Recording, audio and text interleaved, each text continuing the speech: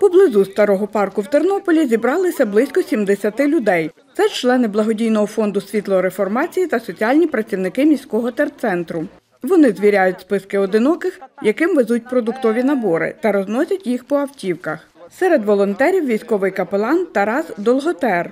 Капеланська праця воно не тільки на фронті потрібна, да? капеланська праця потрібна і тут в тилу. Бо з людиною треба поспілкуватися, з людиною треба помолитися, людині треба пояснити, що Бог її любить, що вона не одинока.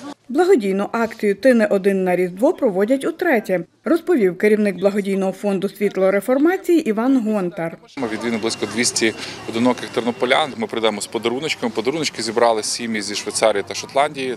Також є продукти з Німеччини. В цих подарунках е, часто це є продукти харчування, це є певна гігієна, якісь речі домашнього вжитку. 83-річна Богдана Дурда одна з перших, до кого завітали волонтери.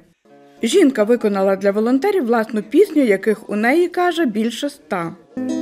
Перед образами я в храмі поставлю свічу. Відвідали волонтери й одиноку пенсіонерку Антоніну Процик-Вітко. Жінка втратила усіх рідних і у свої 82 роки залишилася сама.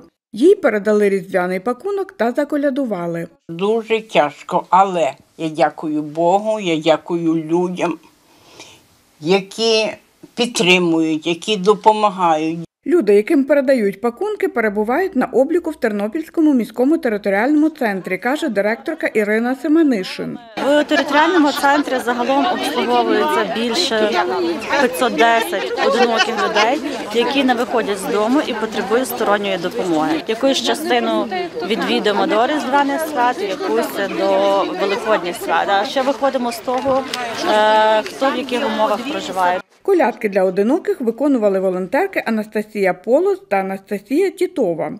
Дівчата-переселенки з Дніпра та Маріуполя. У мене такої практики ще не було. Тож це західна Україна з її традиціями, то ну вчимо і стараємося якось відповідати. Хто як не ми будемо їх підтримувати в такий час?